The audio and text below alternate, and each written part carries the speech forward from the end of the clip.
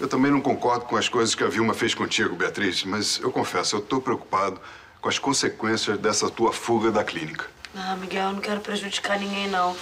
Mas eu te confesso que eu tava desesperada pra me ver livre daquele lugar. A Beatriz não é doente. O que a Vilma fez foi uma violência. A gente tinha que tirar ela de lá de qualquer jeito. E a essa hora ela já deve estar sabendo. E tá procurando a Beatriz por tudo que é canto. Tudo bem, mas eu acho que o último lugar que a Vilma vai procurar a Beatriz vai ser aqui. É, mas vocês dois precisam tomar cuidado. A Vilma vai mandar seguir vocês. Ah, tô ligado. Tô ligado, mas eu tô tranquilo também porque eu não quero arriscar nada. Também não. Eu só quero ver a Beatriz bem. Bom, a gente tem que providenciar um médico que dê um laudo atestando que você não tem motivo algum pra ser internada, Beatriz. E depois a gente leva isso num juiz. A Vilma não vai ter como te internar novamente. Tô com medo. Minha mãe é capaz de tudo. Ela compra as pessoas. Eu não quero que me dopem de novo, que me prendam de novo naquele lugar. Eu não quero. Mas com a justiça dando proteção pra você, eu te garanto, a Vilma não vai ter como fazer nada.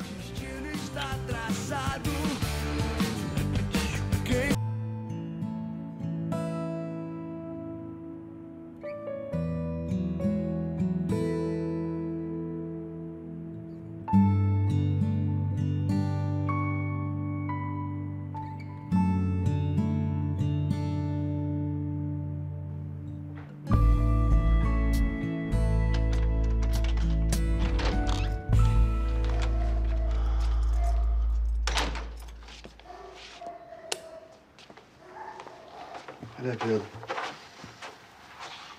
O que, que foi, cara? Você tá chorando? Aconteceu alguma coisa com a Vivi? Não, ela tá dormindo. E com o Rafa? Nada com as crianças, não. Eu. Nada não, Antônio.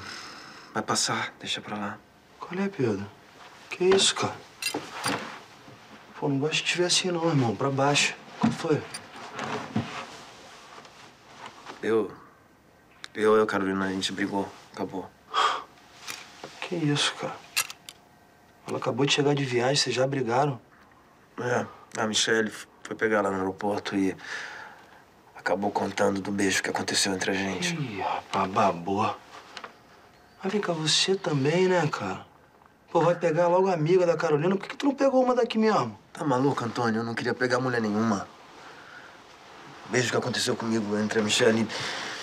Aconteceu. Foi um, sei lá, um deslize, um descuido. Ah, tá assim, assim de filho por aí, que aconteceu exatamente assim, por um descuido. Eu não transei com a Michelle.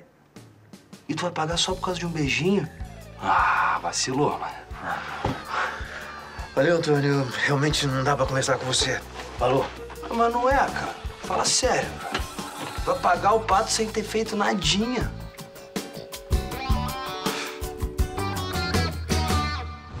Eu só não dou parte do Antônio pra polícia porque simplesmente eu não quero outro escândalo. Mas eu acho que você deveria fazer isso sim. Pra onde será que levaram minha neta? Bom, se a senhora não tivesse proibido a Beatriz de encontrar as pessoas, nada disso tinha acontecido, né? Gustavo, você fala cada bobagem, meu filho. Eu não sei por que, que eu pago colégios tão caros. Raciocina, Guga. Pois se eu internei sua irmã para afastá-la das más companhias, você queria que eu permitisse a visitação para todos? Ora, alguma providência você vai ter que tomar. A Beatriz precisa de cuidados. Para isso, ela foi internada. Nós não podemos ficar aqui de braços cruzados e deixar a minha neta lá na mão do Antônio e, e daquele Leonardo. Papai, por favor, você quer se acalmar? Eles não vão conseguir esconder Beatriz para sempre, papai. Cuidar de alguém custa dinheiro. Ah, Roupas, comida. Dinheiro não brota em árvore, não nasce no meio da terra. Calma. Mas se o estado da Beatriz inspira cuidados, você não acha perigoso ela ficar com eles? Eu vou falar com o Antônio. Não faça isso, papai. Papai, você só vai perder seu tempo. Eu vou papai. falar com o Antônio. Quer se acalmar, por favor? Eu e Tomás vamos tomar conta disso. Não se preocupe. Eu prometo, nós vamos trazer Beatriz de volta. E eu espero que seja aqui pra casa e não pra outra clínica, né, mãe? E eu espero que você não se intrometa mais nesse assunto. Muito ajuda quem não atrapalha. Andressa, eu tenho que te agradecer pro resto da minha vida, viu? Não, imagina, Beatriz. É muito tempo pra agradecer alguém. não? Olha só, eu tô fazendo isso porque eu não acho certo a forma como a Vilma agiu com você. Ah, e se alguém aqui merece agradecimento, esse alguém aqui é o Léo, tá? Foi ele que me convenceu a te ajudar. Léo, você foi muito bacana comigo. E com o Antônio também. Eu fiz isso por você, Beatriz. Mas, Léo, não esquece. Você e o Antônio têm que evitar de vir aqui. Pode deixar, eu já aprendi a lidar com a dona Vilma. E você, Miguel? Eu o quê? Desculpa comentar isso com você assim aqui, mas que eu sempre ouvi boato de que você tinha um caso com a minha mãe. É, não era boato, era verdade. Mas já acabou. Agora eu e a Andressa estamos juntos. Ih, caraca, e o Roberto? Foi mal. Eu e o Roberto não temos mais nada, Léo. Você tá rindo de quê, Léo? Não, é porque a dona Vilma perdeu o Miguel pra Andressa. E o Roberto perdeu a Andressa pro Miguel. Então, os dois irmãos levaram fora ao mesmo tempo.